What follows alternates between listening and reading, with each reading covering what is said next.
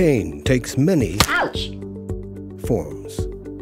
Some are easily noticeable, while others require a little more attention. But whatever the level, treating pain lies at the heart of medicine, and never more so than when the patient is under general anesthesia.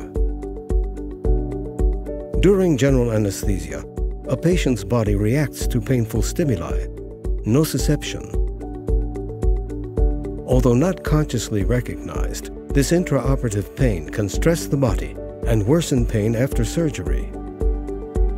Because patients cannot communicate under anesthesia, it is hard for physicians to evaluate.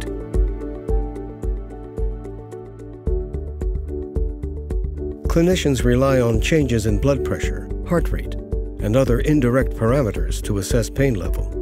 However, these parameters are not specific or accurate enough. Consequently, patients may be given too much pain medication or too little.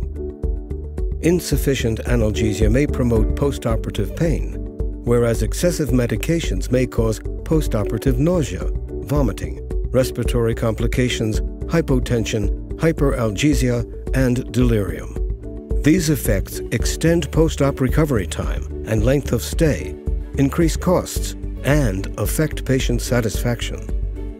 Intraoperative pain monitoring that can detect nociception early, quantify it, and guide the analgesic administration may assist clinicians in personalizing and optimizing pain treatment. Medasense Biometrics PMD 200 pain monitoring system more than meets that challenge. The system consists of a non-invasive finger probe that incorporates four sensors.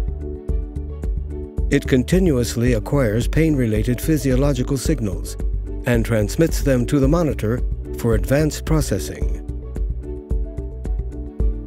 Artificial intelligence algorithms and signals processing identify and analyze dozens of measurable changes and reflect the information into a single nociception level index, the NOL.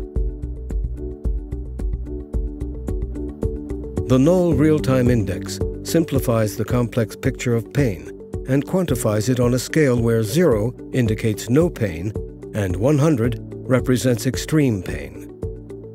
The NOL is calibrated to an individual's baseline and is thus able to track relative changes in the individual's pain level. The easy-to-interpret NOL reliably quantifies pain and guides the analgesic administration. Critically, it enables a faster response time through earlier detection of an undesired trend. Multiple studies conducted worldwide and key results published in peer-reviewed medical journals validate that the NOL index provides a better assessment of the patient's nociceptive state than the measures currently used, as well as reflecting the patient's response to analgesic drugs.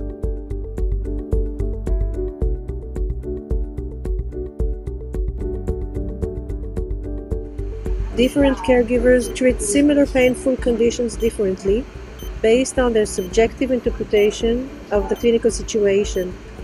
The NOL allows standardization of assessment and treatment methods.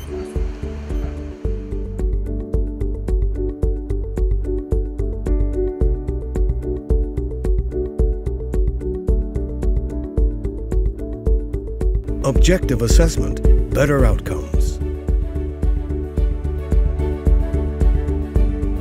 Medasense.